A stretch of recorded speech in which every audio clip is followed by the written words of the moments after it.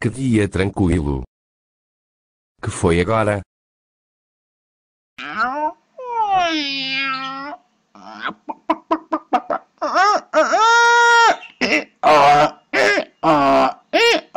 Caramba, que bichos feios. E como cantam mal. Ei, pessoal. Ele não pode falar da gente assim. Temos que dar um jeito nesse babaca.